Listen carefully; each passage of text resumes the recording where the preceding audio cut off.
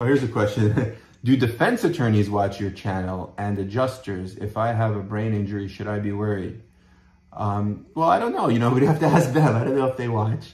But watching, maybe they could learn something and maybe they could improve their practices by watching some of our uh, information, some of our knowledge. Uh, you know, we, we definitely don't want uh, the defense lawyers and the defense uh, insurance adjusters because they're the one holding the purse strings, right? They're the ones who are paying everyone.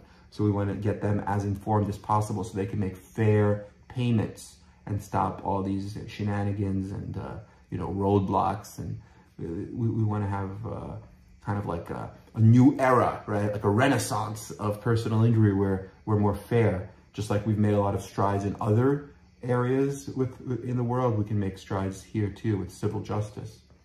Okay.